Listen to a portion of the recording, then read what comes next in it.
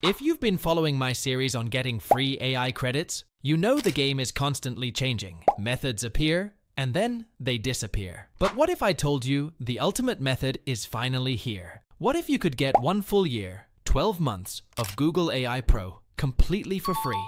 Now, officially, this is a student offer meant for students in India. But when I'm here, you don't need to worry. I'm going to show you how to avail this offer from anywhere in the world. If you stick with me, by the end of this video, you will have unlocked 12 months of Google AI Pro with access to Veo, Flow, and everything else. All tools that required for this method, you can find then in the video description. This is the one you've been waiting for. Let's begin.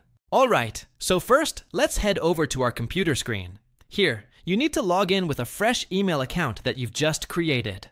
While this can work with an old account, it fails to work about 90% of the time so it's best to use a new one.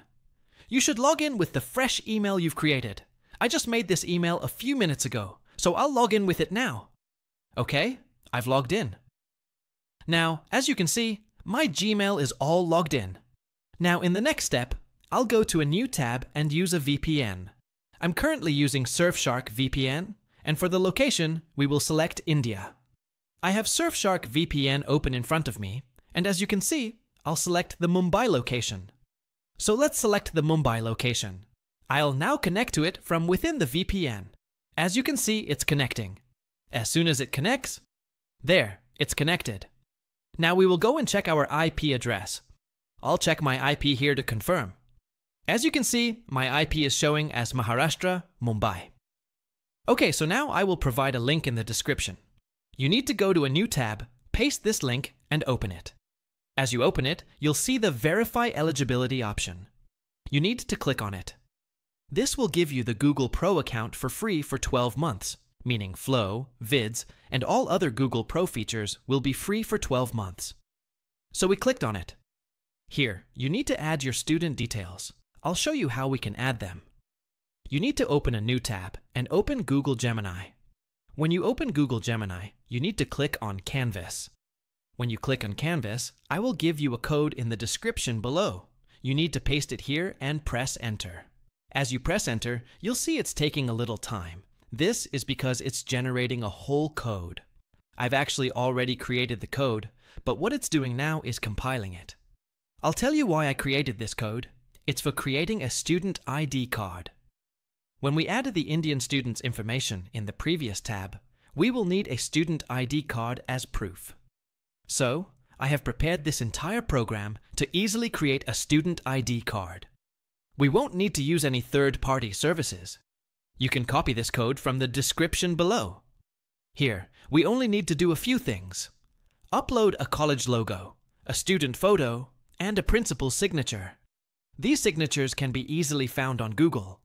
So, now you come here to the School section, and you have to select any school. But you must make sure that the university or college you select does not have a city name next to it. As you can see, this one doesn't have a city name, so I'll select it. Here, I'll add my first name, and here I'll add my last name. After adding the last name, you need to come down and enter any date of birth you think is appropriate. I'll enter my date of birth here. I'll enter the year here. After that comes the student email address. This is also very easy. You can write any two digits at the beginning. Then you have to write BCS, and after that, you can write whatever you want, as much as you want. At least four characters are required. Then, the domain will be at kucht.in. In this email, you need to ensure a few things. The first two digits can be whatever you want, and the digits after BCS can be whatever you want, as many as you want. However, BCS must be in the middle, and the domain at the end is also very important. You have to keep this in mind. So, now I'll take you back to our ID card generator. For the student ID card, we first need a college logo. We can get any logo, I'll just pick one from here. As you can see, I've searched for quite a few. You simply need to do the same. I'll save this image. It's saved. Next, I'll download the principal's signature that we need. I simply searched here, and I'll go to Images many signatures have appeared. You can just pick any signature, save it, and upload it. I'm going to do that right now. Sorry, this is a WebP file, so it won't upload. Let's cancel it and try this one. Let's save it as a PNG. Okay, this is also saved. The next thing we need to do is get an image of an Indian student to put on the ID card. For that, we'll search for an image of an Indian student. You can see many images have appeared, so you can choose anyone that looks good and professional. I liked this one, so I'll right click and save it as well. Okay, so this image is also saved. Now, I'll go back to Google Gemini, where I have the program. Here, I'll first upload the college logo. Secondly, we need to add the student's photo, so I'll add this photo. Thirdly, we need the principal's signature, so I'll add that. Now below, you can see our card is basically ready.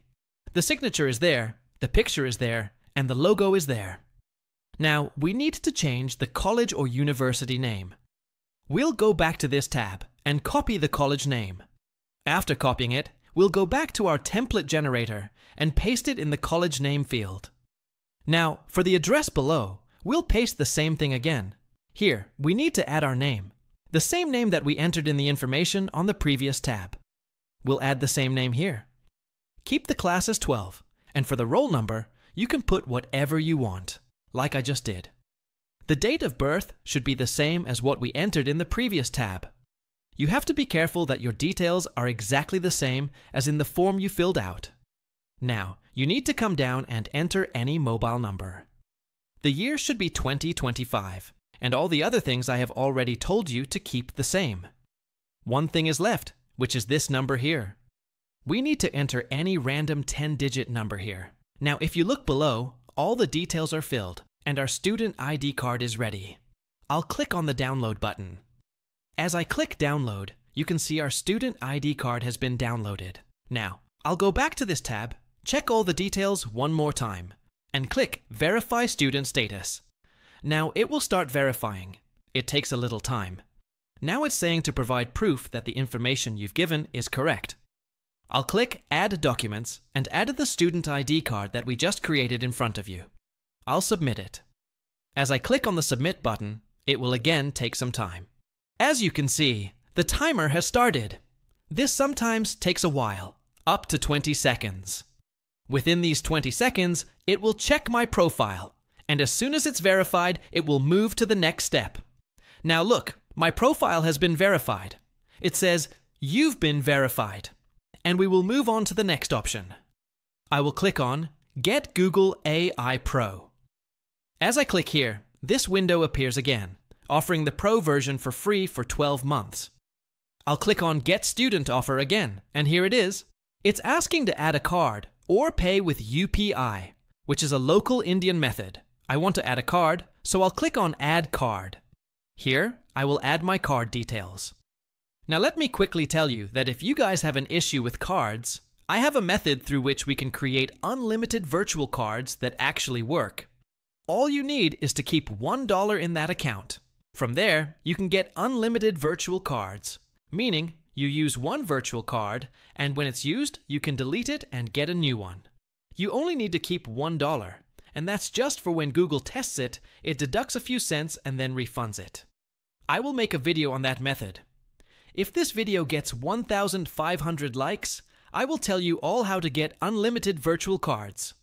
So, here I'll add my details and select any state in India. I'll choose Madhya Pradesh, and then I'll submit it. Now, you see, it's processing.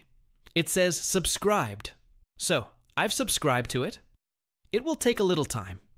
So, there you see, our subscription is complete. This means we have now successfully received the Google Pro version. Now, I'll close this from here. I'll go to Gemini to check everything. You can see the colorful circle is with my username, which means, and it also says Pro next to it, that I have received the Pro account. Now, what I'll do is open a new tab and show you once more to confirm whether I've actually received it or not. I've opened the Flow account. As the Flow account opens, I'll show you the credits I've received. I'll sign in with my current email. In the meantime, I'll tell you that if you want unlimited virtual cards that actually work, I can also show you that method. Now look, I have 1000 credits available. I can use as much as I want from this with Google Flow and Google Veo. So now everything is in front of you. Now, I know the biggest question you probably have is about the credit card step. In the video, I used the virtual card, and after that I have terminated that card and got a new one. So, I have a deal for you. I have this method for getting unlimited free virtual cards that you can use for this and any other online trial. I will create a full step-by-step tutorial on that method if this video gets 1500 likes.